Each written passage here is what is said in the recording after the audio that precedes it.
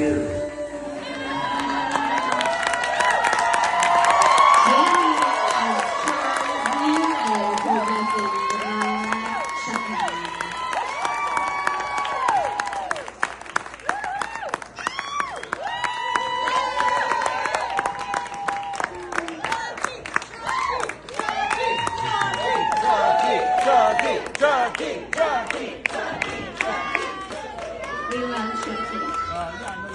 Uh, has anybody watched the new show, Chucky?